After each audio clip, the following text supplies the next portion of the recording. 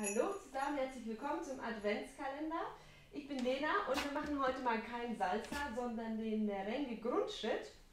Der ist wunderbar zum Üben von der Hüftbewegung, das heißt, ihr könnt den auch im Salsa anwenden und kann jeder lernen, ob ihr schon mal getanzt habt oder nicht. Wir starten einfach hier ein bisschen nach hinten, dann seht ihr meine Füße direkt. Und zwar mit der berühmten Position, wenn wir an der Bushalte stehen und warten, weil uns langweilig ist. Wir knicken einfach so ein. Ein Bein ist gestreckt, das andere ist geknickt. Hände sind uns gerade noch egal. Richtig einfach das ganze Gewicht hier rauf. Und dann wechseln wir auf die andere Seite. Geknickt, gestreckt, ganze Gewicht. Der Popo wird richtig rausgedrückt. Geknickt und knicken und knicken und knicken. Für den Anfang machen wir überhaupt nichts mit der Ferse. Bitte nicht hochgehen, sondern wirklich den ganzen Fuß einfach am Boden stehen lassen.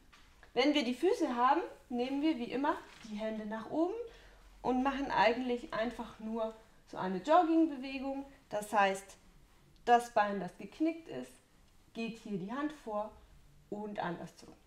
So, damit ihr das nochmal seht aus allen Perspektiven, nochmal wirklich von hier. Wir knicken und strecken immer die Beine. Ellenbogen kommen dann raus, entgegengesetzt und der Po durch dieses Knicken und Strecken. Einmal nochmal von vorne, dann habt ihr die Arme hier. Eigentlich ist es wirklich wie Joggen. Wunderbar, dann machen wir es mit ein bisschen Musik. Einfach nur am Platz und ein bisschen im Kreis.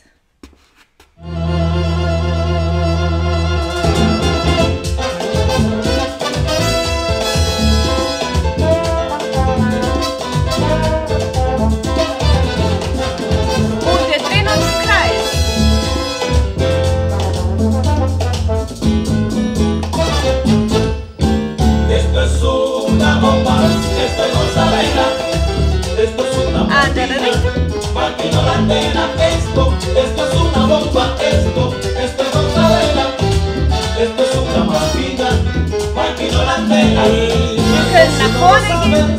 Esto sí tiene pimienta, todo el mundo lo comenta.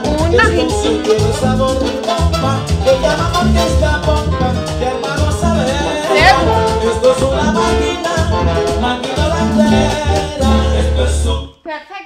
jetzt wisst ihr, wie man den Hintern bewegt, der Merengue Grundschritt. Die Bewegung werdet ihr immer wieder brauchen im Salsa und Bachata, eigentlich in jedem Tanz. Und das könnt ihr machen beim Zähneputzen, an der Bushaltestelle. Es fällt überhaupt nicht auf, tut einfach so, als ob ihr friert und euch aufwärmen möchtet. Viel Spaß beim Üben und ich hoffe, ihr seid morgen dabei beim nächsten Adventstürchen. Ich glaube, ich bin nicht die 24, deshalb bis denn!